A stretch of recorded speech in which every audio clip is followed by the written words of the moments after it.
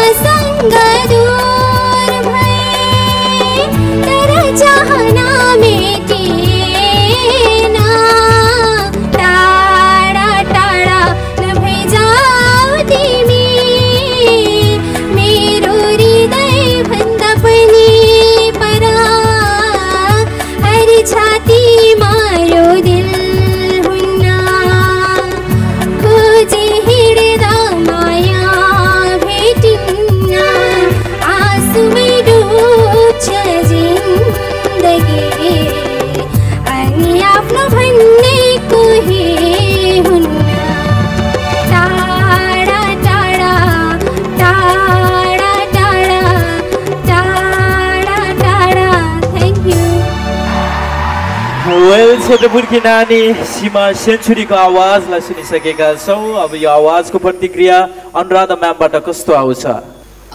definitely टाढा टाढा नभइजाऊ तिमी म यही भन्छु सङ्गीतलाई माया गर तिम्रो आवाज धेरै राम्रो छ धेरै मिठास छ टाइमिङ एकदमै राम्रो सुर राम्रो छ सबै कुरा पर्फर्मेन्स एकदम राम्रो